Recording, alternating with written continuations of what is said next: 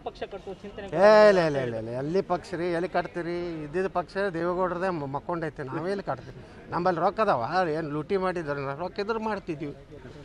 ರೊಕ್ಕ ಇಲ್ಲ ನಮ್ಮಲ್ಲಿ. ಮತ್ತು ನಾವು ಎಲ್ಲ ಬಿ ಜೆ ಪಿ ಮೂಲಕ ಬಿ ಜೆ ಪಿ ಕಟ್ಟದವ್ರು. ನಮಗೇನು ಪಕ್ಷ ಬಿಟ್ಟು ಹೋಗಿ ಮತ್ತೊಂದು ಪಕ್ಷ ಕಟ್ಟೋದು ಆ ಚಟ ಏನಿಲ್ಲ. ಅಷ್ಟು ಶಕ್ತಿ ನಮ್ಮಲ್ಲಿ ಇಲ್ಲ. ನಾವು ರಮೇಶ್ ಜಾರಕಿಹೊಳಿ ಮುಂದೆ ಚುನಾವಣೆಯಲ್ಲಿ ಬಿ ಜೆ ಪಿಯನ್ನು ಮತ್ತೊಮ್ಮೆ ಅಧಿಕಾರ ತರೋದ್ರ ಬಗ್ಗೆ ಚರ್ಚೆ ಮಾಡಿದ್ದೀವಿ ಹೊರತು.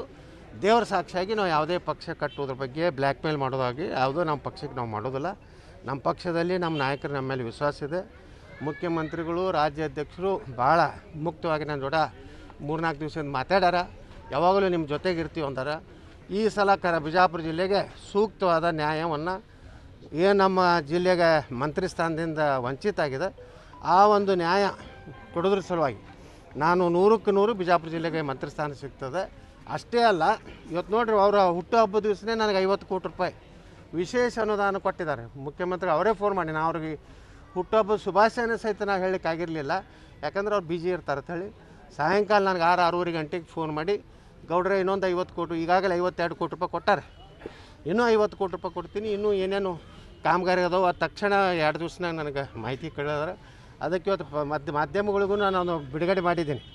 ಇನ್ನೂ ಯಾವ್ಯಾವ ಓಣಿಯಲ್ಲಿ ಚರಂಡಿ ಆಗ್ಬೇಕು ರಸ್ತೆ ಆಗ್ಬೇಕು ಏನೇನು ಸಮಸ್ಯೆ ಅದಾವೆ ಕೊಟ್ಟರೆ ಇನ್ನೂ ಎರಡು ನೂರು ಕೋಟಿ ರೂಪಾಯಿ ಬರ್ಬೋದ ಇನ್ನು ಆರು ತಿಂಗಳಲ್ಲಿ ವಿಜಯಪುರದ ಒಂದು ಇಡೀ ವಿಜಯಪುರ ನಗರದ ಒಂದು ಇದನ್ನೇ ಚೇಂಜ್ ಬದಲಾವಣೆ ಮಾಡುವಂಥ ಒಂದು ಎಲ್ಲ ರೀತಿ ಕೆಲಸ ನಾವು ಮಾಡ್ತಾಯಿದ್ದೀವಿ ಸರ್ ಕಾಂಗ್ರೆಸ್ ಸರ್ ಕಾಂಗ್ರೆಸ್ ನಾಯಕರೆಲ್ಲ ಹೇಳ್ತಾರೆ ಸರ್ ನಮ್ಮ ಜೊತೆಗೆ ಅಷ್ಟು ಜನ ಟಚ್ ಇದ್ದಾರೆ ಬಿಜೆಪಿ ಅವರು ಅಂತ ಹೇಳಿ. ಸರ್ ಬಿಜೆಪಿ ನಾಯಕರ ಜೊತೆ ಕಾಂಗ್ರೆಸ್ ಅವರು ಇದು ಕ್ಷಣ ಕ್ಷಣದ ಸುದ್ದಿಗಾಗಿ ಅಮೋಕ್ ಟಿವಿ ಯೂಟ್ಯೂಬ್ ಚಾನೆಲ್ಗೆ ಸಬ್ಸ್ಕ್ರೈಬ್ ಮಾಡಿ ಹಾಗೂ ಬೆಲ್ ಐಕಾನ್ ಮೇಲೆ ಕ್ಲಿಕ್ ಮಾಡಿ ಅಮೋಕ್ ಟಿವಿ ಎಂದೆಂದಿಗೂ ನಿಮ್ಮೊಂದಿಗೆ